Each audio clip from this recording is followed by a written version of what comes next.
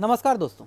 दोस्तों, आज हम बताएँगे आपको कि निर्भया के जो, निर्भया के जो आरोपी हैं, चारों आरोपी, उनके परिवार, जिन, क्या करते हैं वो मतलब कि वो लोग मिलने आ क्यों नहीं आ रहे हैं?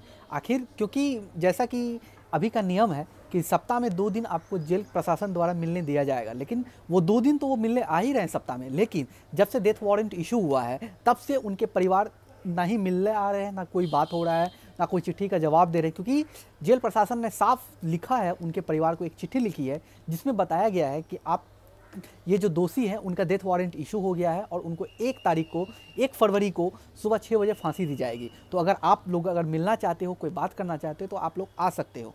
तो दोस्तों, ऐसा लिखने के बाद से उन लोगों के परिवार की तरफ़ से कोई भी जवाब नहीं आया। ना ही कोई प्रतिक्रिया आई है कि जिसे समझा जाए कि वो लोग मिलना चाहते हैं या फिर नहीं चाहते।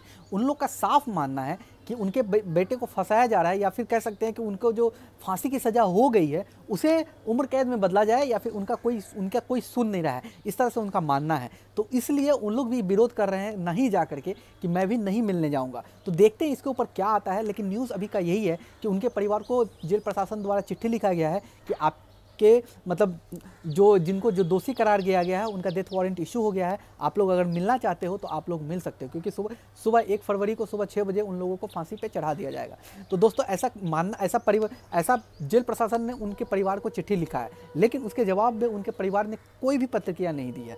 तो देखते हैं क्या होता है इसके आगे, लेकिन जो भी होगा, आपको इसकी पूरी सटीक जानकारी दी जाएगी, आपको सब कुछ बताया जाएगा। तो दोस्तों अगर आपको ये वीडियो अच्छा लगा, कोई भी इंपॉर्टेंट इन्फॉर्मेशन आपको अगर मिली है तो आप मुझे कमेंट बॉक्स में कमेंट कर सकते हो। और आपको अगर ये वीडियो अच्छा लगा तो यार लाइक कर देना शेयर कर देना दोस्तों के बीच ज़्यादा से ज़्यादा।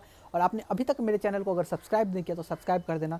बेल की घंटी ज़रूर बजा देना, ताकि आपको इस तरह का वीडियो पहले मिल सके। तब तक के लिए आप खुश रहिए, सुरक्षित रहिए। जय हिंद।